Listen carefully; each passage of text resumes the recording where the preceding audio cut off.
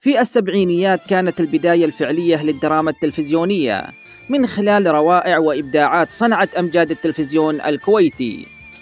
أكثر من عشرين مسلسلا كان أبطالهم العمالقة ومؤلفهم واحد وهو الراحل طارق عثمان وأيضا مخرجهم واحد وهو الراحل حمدي فريد. ذلك المخرج الكبير الذي صنع الإبداعات والأعمال في زمن البساطة وصنع عمالقة التمثيل في الكويت والخليج العربي. ووضع كل فنانه وفنان في زاويته التي يبدع فيها. كان مخرجا متلونا على حسب النص الذي أمامه.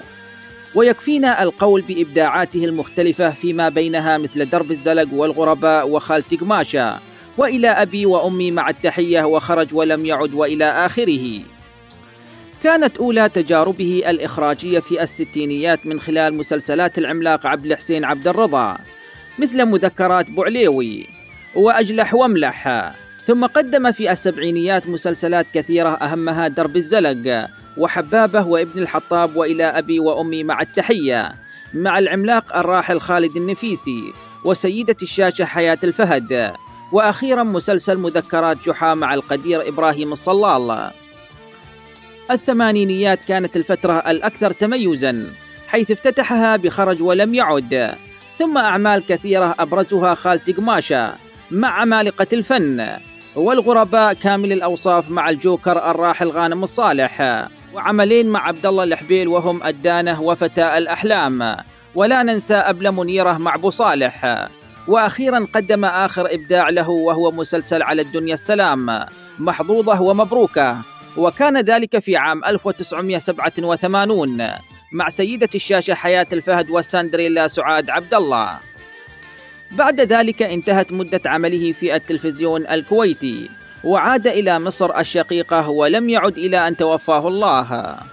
ويذكر الأستاذ عبد الله أنه عمل مع المخرج المصري حمدي فريد في آخر عمل تلفزيوني كمصور وكان مسلسل على الدنيا السلام. وقد زامله حسن عبد الله في الكثير من الأعمال التلفزيونية وعشق العمل معه. وعلم حسن عبد الله أن المخرج حمدي فريد سيسافر إلى مصر ولن يعود إلى الكويت. بعد أن أنهى جميع التزاماته وانتهاء خدمته في تلفزيون الكويت.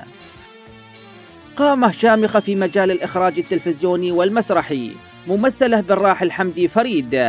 لا بد وأن يحصل على تكريم إن لم يكن من التلفزيون فمن الدولة وإن لم يكن من الدولة فمن أي جهة أخرى. ومع كل أسف ذلك لم يحدث. فتصدى الأستاذ حسن عبد الله لهذا الموضوع كمبادرة شخصية منه وجمع من الفنيين والممثلين والممثلات مبالغ مالية. وحجز صالة في أحد الفنادق وأحيا حفلا خاصا لتكريم المخرج الراحل حمدي فريد. وحينما قدم له الأستاذ حسن عبد الله عن نفسه والكويت وعن جميع الفنيين والممثلين الذين عملوا معه درعا يروي حسن عبد الله أن الدموع انهمرت من عيني المخرج الراحل حمدي فريد وهو يتسلم الدرع منه. وسط تصفيق وإشادة من جميع الحاضرين. هكذا كان الفنان في السابق. أصالة وتربية تفرض عليه حب أخيه العامل معه. لذلك نجحت أعمالهم الفنية وحققوا بها أكبر شهرة ومجدا لتاريخ الكويت والحركة الفنية فيها. وفي ختام هذا التقرير لا تنسوا الاشتراك والإعجاب في هذه القناة. لكم مني أطيب الأمنيات والسلام عليكم ورحمة الله تعالى وبركاته.